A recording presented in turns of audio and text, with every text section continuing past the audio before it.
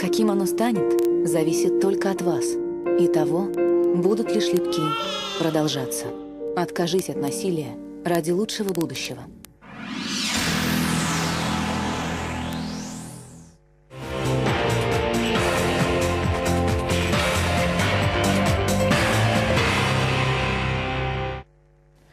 Здравствуйте, в эфире по-прежнему ННТВ. Вы смотрите программу «Прямая линия». У меня в гостях Сергей Александрович Потапов, заместитель губернатора, заместитель председателя правительства. Добрый предпраздничный вечер. Добрый вечер. Добрый вечер, дорогие нижегородцы. Сергей Александрович, вот не так давно мы с вами в рамках одной из программ, сравнивая жизнь в городе и в деревне, а, пришли к тому, что на самом деле очень многое зависит от э, личности, которая возглавляет тот или иной район или городской, сам ли город или э, район сельской местности. Вот я невольно об этом вспомнила, потому что рядовое, казалось бы, совещание, совещание по развитию органов местного самоуправления, которое стандартно проходит в Москве, которое проводит президент. Вроде бы все налажено, тем не менее последнее, которое было 31 января, оно вызвало какой-то такой бурный резонанс, и до сих пор не утихают э, на этот счет комментарии. Вот в чем там основная суть была, и что такого неожиданного оно принесло, что, казалось бы, политика, от которой все устали, все привыкли, вдруг вот продолжается в разговорах, в обычных, обыденных. Да, действительно, 31 января текущего года состоялось такое совещание в Москве. Участвовал в нем президент Российской Федерации э, в заседании Совета.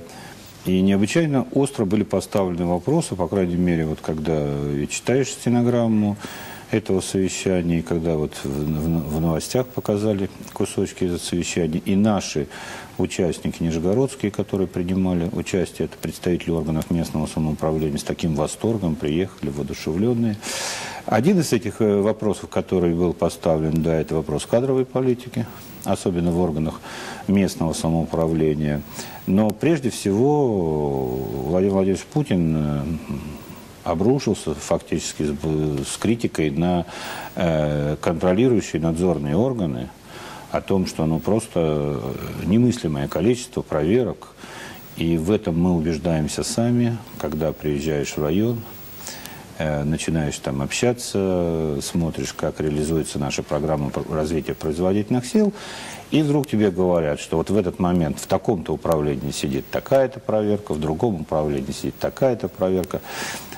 И, э, конечно, это не дает людям работать. Проверять, контролировать необходимо особенно там, где расходуются бюджетные деньги. Но все должно быть разумно. Об этом говорил Владимир Владимирович.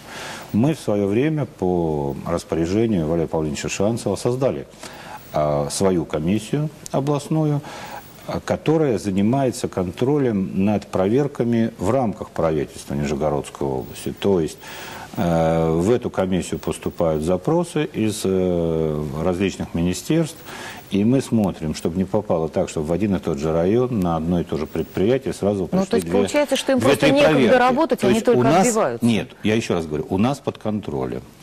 Ну вот мы посчитали, на сегодняшний день в Нижегородской области, так же, как и в любой другой, 90 сидит надзорных органов. Это федеральные органы. Начиная контрольно-надзорных органов, начиная от представительств различных министерств и ведомств, э, различные службы федеральные, э, по Приволжскому федеральному округу, по Нижегородской области, вот таких 90. И вот их деятельность, их деятельность, она вообще бесконтрольна. Они могут приехать в любую область, э, это в любой район, они могут приехать в любое министерство, сделать, делаются бессмы, э, бесчисленные запросы. Сейчас потребовал Владимир Владимирович Путин, чтобы в рамках региона такая комиссия контролировала и эти организации, и чтобы, предположим, э, мы вот сейчас делаем анализ такой по поручению президента, по итогам первого квартала дадим, и посмотрим, что вот я в один район приезжаю, они говорят, 275 запросов к нам поступило из одной только структуры. Мы посчитали количество рабочих дней в году, вы понимаете, что это каждый день.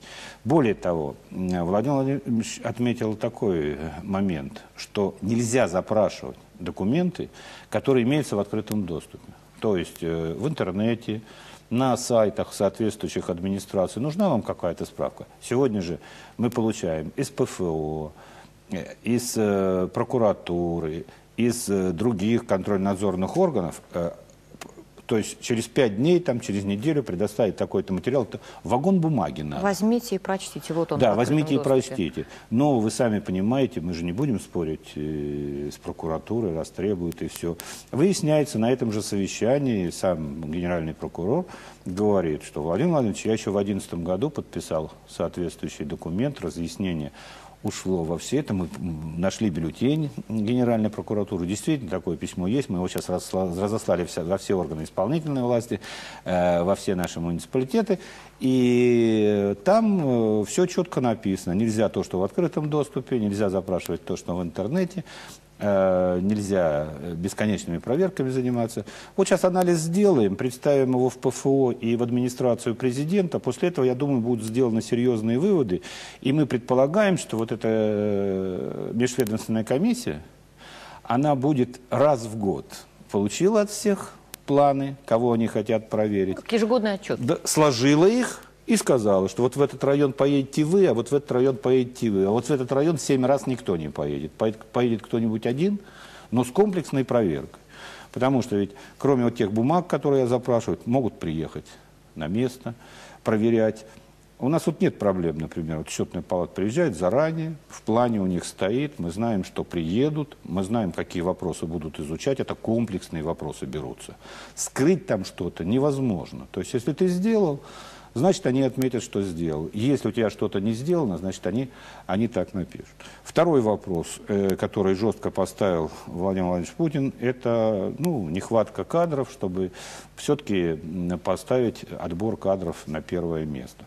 У нас, вы помните, буквально недавно, 6 э, лет назад, э, было 662, потом 620 Э, органов местного самоуправления. Теперь у нас 414 их всего. За счет оптимизации, за счет сокращения лишнего чиновничества, за счет сокращения вот этих администраций, этого удалось добиться. Теперь как сделать, чтобы эта работа была привлекательной, чтобы на нее молодежь шла. Молодежь сегодня, ведь вы понимаете, она идет тогда на такую работу, когда она четко понимает, что есть какая-то лесенка, есть какие-то ступеньки, поднимаясь по которым, если ты хорошо работаешь и успешно справляешься с тем, что тебе поручено, ты будешь расти.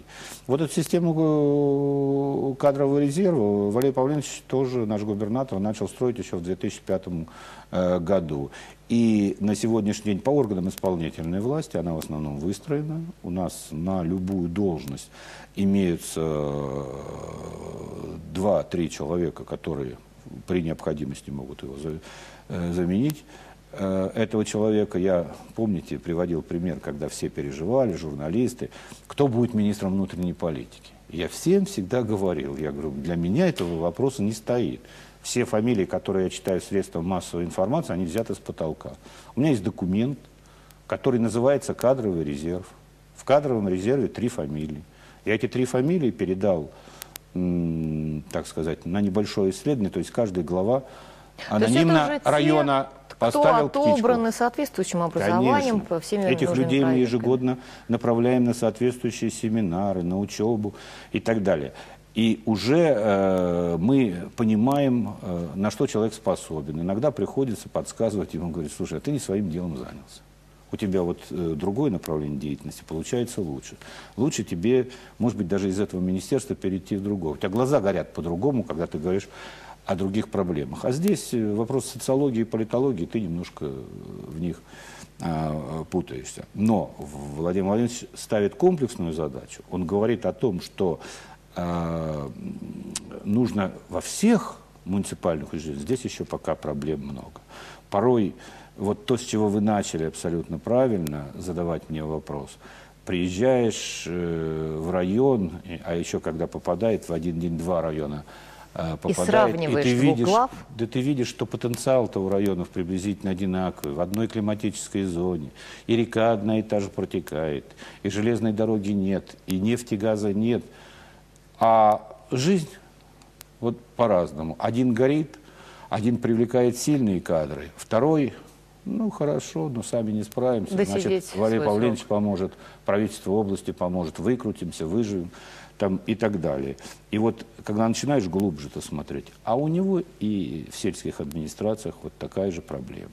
Поэтому, конечно, пласт поднимаем очень большой. Я думаю, что Владимир Владимирович Путин своевременно его так копнул и сказал, поставил нам жесткие сроки по тому, что мы должны решить. И я думаю, что этот вопрос, э, ну, в ближайшее время мы на немножко другой уровень. У нас есть возможность, у нас есть хорошие вузы, у нас и по подготовке кадров, и есть специальные вузы, которые могут готовить по разным специальностям, поэтому будем людей тренировать. Плюс мы оставляем за собой право рекомендовать, и вот ни один район не прогадал, который согласился, когда мы по горизонтали направляем приблизительно равные То должности, но в разные через места. ступеньку не А удастся. может быть, а это не нужно. Не нужно. Это правило этих семи ступенек надо соблюдать. Со ступенечки на ступенечку. Что касается кадровой политики в а, чиновничестве, в частности, это тема отдельной программы. Я надеюсь, что мы ее с вами сделаем, может быть, даже в рамках а, де-факто со всеми историческими параллелями. А, пока же у нас есть звонок телезрителя. Здравствуйте, пожалуйста, говорите. Здравствуйте. В начале февраля 2011 года глава Нижнего Новгорода Олег Сорокин принял участие в заседании Президиума Совета президент, при президенте России по развитию местного самоуправления, Да. которое провел в Оренбурге председатель правительства Путин. Значит так, на совещании был вынесен вопрос о мерах по повышению качества предоставления государственных и муниципальных услуг населению. По мнению городского главы, Приволжская столица пока отстает от многих городов Приволжского федерального округа, в том числе и от Оренбурга, где уже успешно работает многофункциональный государств, значит, много, многофункциональный центр. В кратчайшие сроки будет создана рабочая группа для выработки концепции в Нижнем, для создания в Нижнем Новгороде многофункционального центра. Вот так вот. Мы привыкли, Спасибо, что обычно звонки это простые коммунальные. Нет, очень, а хоро- вот очень так. хороший вопрос. Э, И я хотел бы напомнить и тому, кто звонил нам, и всем нижегородцам о том, что вопрос э, немножко стоял в прошлом году по-другому. А вопрос не стоял о необходимости обязательной создания многофункциональных центров. Вопрос стоял о э, том, что доступность э, получения через одно окно любой То есть информации, любых любой госуслуг в одной да. точке. И мы планировали начать эту работу э, с 2013 года. Мы эту э, программу защитили э, в Минрегионразвития России. Более того, нам сказали, что мы молодцы, потому что в отличие от других регионов и даже от того, что сказал Владимир Владимирович Путин, что до 2015 года у нас октябрь 2014 года последний многофункциональный центр. Ну так мы себе наметили. Потом в середине года прошлого 12 выходит уже распоряжение о том, что ускорить создание многофункциональных центров, и, и надо это дело приблизить. Но вы сами прекрасно понимаете, я неоднократно здесь рассказывал, живем по тому, как зарабатываем, и, извините меня, бюджет сформирован, утвержден, и ломать его, наезжать на какие-то проблемы, в том числе социальные, это невозможно. Поэтому я не вижу в этом никакой проблемы, в том, что кто-то по количеству птичек э, от кого-то отстает, по количеству услуг якобы оказывают. Мы выезжали, мы смотрели, как это работает. 10 окон у нас уже работает в разных районах Нижегородской области. Что касается Нижнего Новгорода, то здесь не один многофункциональный центр будет, здесь будет их несколько, потому что норматив э, федеральный свыше 300 э, тысяч, э, если жителей в населенном пункте, то 3 тысяч жителей, то уже второй, э, 300 тысяч жителей, то второй уже многофункциональный Какого центр рода это услуги? открывается. То есть Ну, вот это- вообще любые, вот включая это- бытовые нет, госуслуги. нет, давайте мы э, начнем с того, что вот сейчас кинулись тоже все а давайте любые услуги. Там смотришь какая-то область, 900 услуг, 1200 услуг. Мы проверили, фактически речь идет, идет о 20-25 услугах, которые наиболее востребованы. Это и вопросы приватизации собственности, это вопросы приватизации земли, это вопросы получения каких-то э, материалов, архивов, данных, которые необходимы. Более того, эта работа идет сегодня параллельно с введением по всей стране, и в том числе в нашей Нижегородской области, электронного взаимодействия при оказании услуг, когда уже не только мы оказываем услугу через одно окно, а через электронное взаимодействие практически все министерства и ведомства России, включенные в один а, клубок, э, пошла в электронном виде. Причем там задача стоит еще сложнее, что не, не можете по электронке, отправляйтесь курьером, но э, система должна работать. Сейчас идет отладка этой системы, сейчас э, тестируются те вот взаимодействия, скажем, наше министерство и соответствующие какие-то министерства. Очень быстро отреагировала налоговая служба, сейчас по всей стране прекрасно, миграционная служба дает любые ответы. Э, некоторые, в том числе и федеральные органы, проявляют косность, говорят, что надо отменить какие-то указы, связанные с секретностью, потому что мы не можем так спокойно дать возможность доступа к нашим источникам. Но, тем не менее, вопрос правильный не волнуйтесь, э, минимум 4 э, таких центра в Нижнем Новгороде до октября 2014 года будут открыты. Ну вот в соответствии с указом к 2015 году должно иметь доступ к получению таких услуг 90% граждан. Ну, полтора года есть, будем смотреть.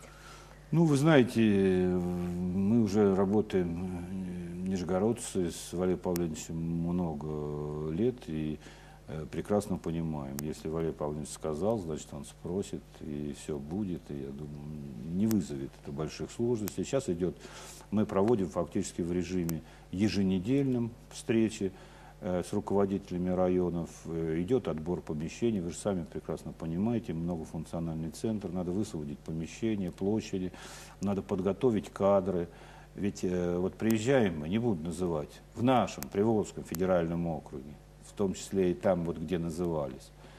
А, приходит человек в такой центр, и, и ему быстренько рисуют на листочке, что он пой, должен пойти в одно окно, в другое. То там есть, а сидит, а зачем он там пришел сидит специалист по этому и все. Угу. Вы понимаете, это самый легкий путь. И он, может быть, на каком-то этапе от него отказываться не надо, потому что он помогает на сегодняшний день реально быстрее. Потому что вы понимаете, что подготовить работника, который бы э, э, также Э, здорово и легко разбирался в вопросах разного направленности, достаточно сложно. А ведь получается, в каждом окне должен сидеть такой работник, который моментально реагирует, Еще одна принимает решение. Кадров.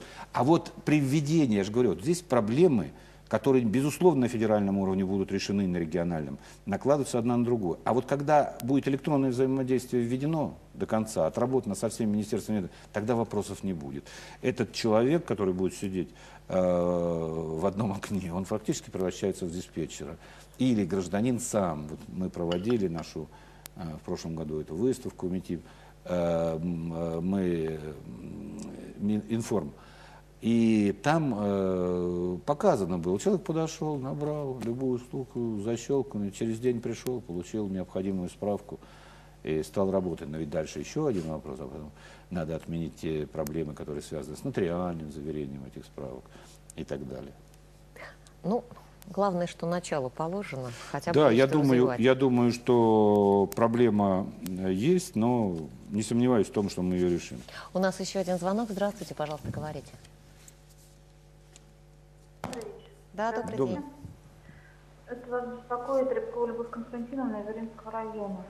Я многодетная мать, воспитываю одна троих детей.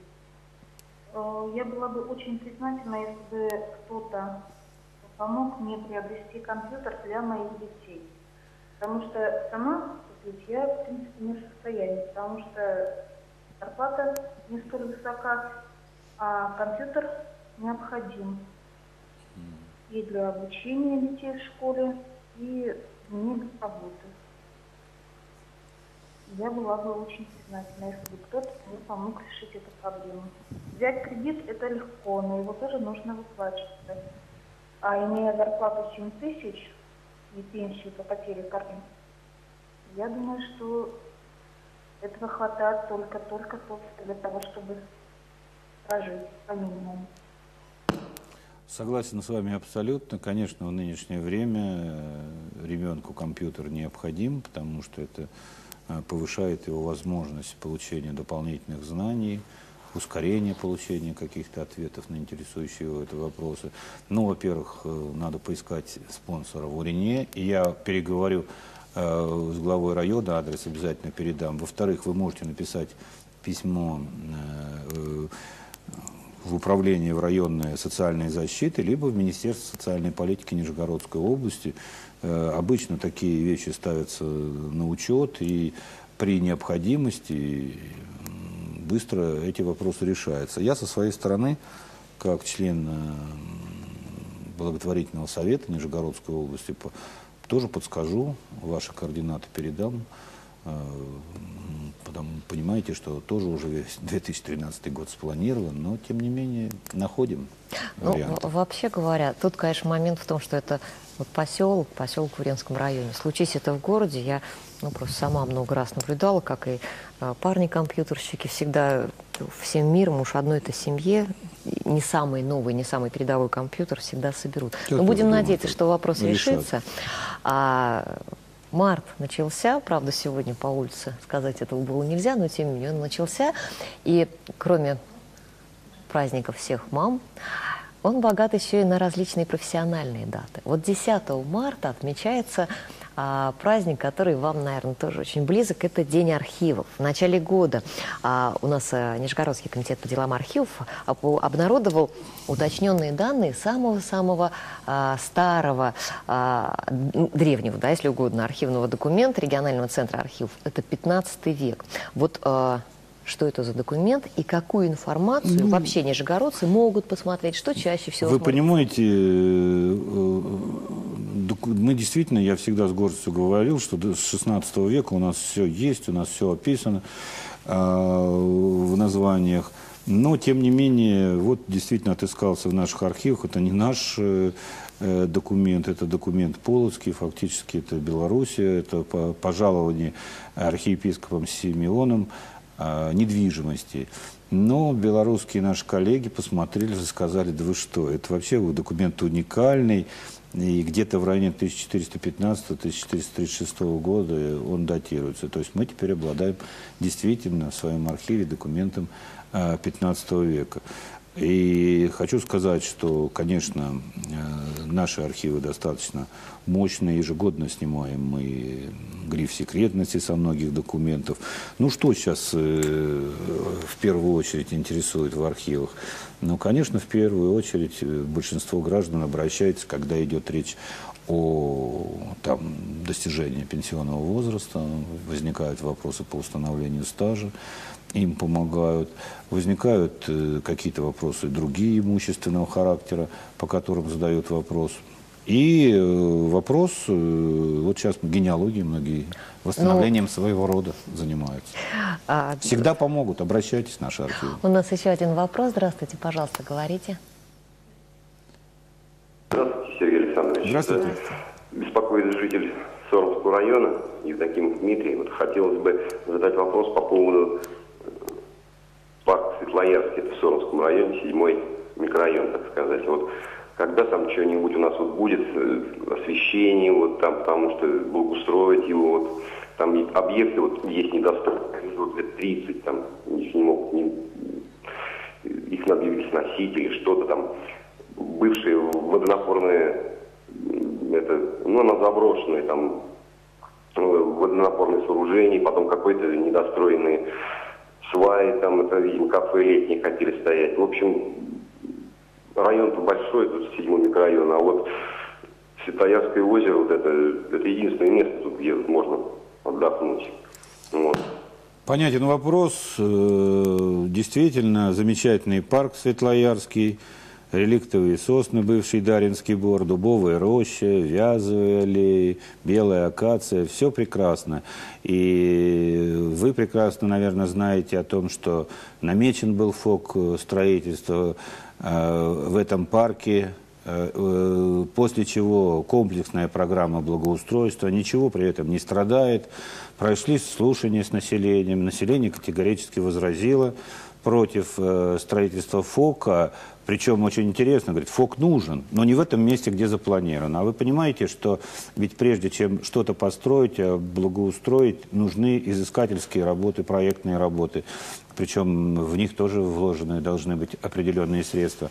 Поэтому вместе с городом подумаем, но и жители должны, вот для того, чтобы то, что вы говорили сейчас в вопросе, для того, чтобы реализовать, тоже проявить свою заинтересованную, настоять в конце концов, вот здесь будет это, Э, так-то мы все сейчас проводим через слушание с населением, и думаю, что этот вопрос надо решать. Парк прекрасный, ради будущего наших э, нижегородцев надо его, конечно, не только сохранить, но и чтобы он стал краше.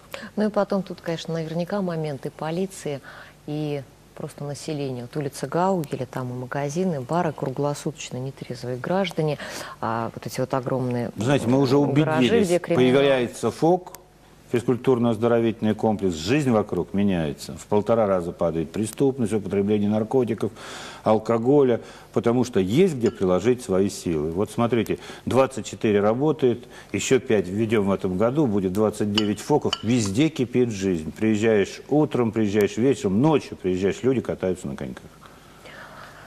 Ну что ж, нам, а, к великому моему сожалению, пора заканчивать эфир.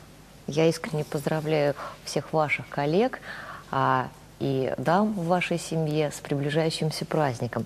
8 марта уже завтра. Как вы планируете этот день отмечать? Как проходит ну, это на работе, в как семье? как и каждый год. Если приедут дети и внуки, то там еще две э, дамы, которых нужно поздравить. А так вдвоем с женой поздравлю ее, погуляем. А вы согласны с утверждением многих таких вот жестких мужчин, что ну никакой это не общий международный женский день, есть вот Клара Цеткина, и, так сказать, последовательница, пожалуйста, поздравляйте. Вы понимаете, если вы к истории обратиться, праздник возник стихийно в 1857 году, э, рабочие обувщицы производя одежды, вышли в, в Чикаго на манифестацию. В 2010 году, да, Клара Цеткин это поддержала в 1910 С 13 года это празднуется в Европе, у нас ровно сто лет назад. В 2013 году в России впервые вышли на это. Но самое интересное произошло в 2017 году. В конце февраля женщины вышли на улицы с требованием мира и хлеба. Четыре дня Николашка думал о том, что сделать с, с этим, отрекся от власти.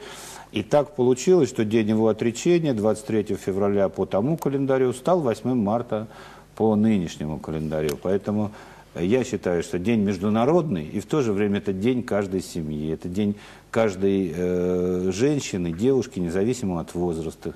Потому что любая из них – это будущая мать, будущая сестра, это подруга, это то, что на сегодня нас э, спасает. Поэтому всем нижегородкам здоровья, счастья, любви, и не только вам, но и всем вашим близким, потому что я понимаю, что для женщины счастье, здоровье для нее одной ничего не значит. Самое главное, чтобы всем было хорошо. Ну и, пользуясь случаем, разрешите вам вручить букет э, и в вашем лице всех нижегородок Спасибо еще большое. раз поздравить с этим праздником. Ну, ну от мужчинам могу обратиться.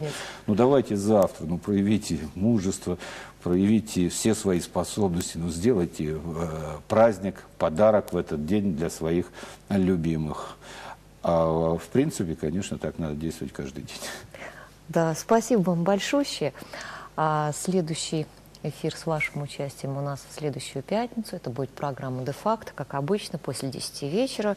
Закончите все домашние дела, присоединяйтесь. Будем разговаривать об о улицах Нижнего Новгорода, известных, неизвестных, переименованных, не переименованных. Не, я все... предлагаю не только Нижнего да. Новгорода, но и на всю область да. пройтись, потому что очень любопытные названия, что мы даже спорим сегодня. А, ну, а за сим до свидания.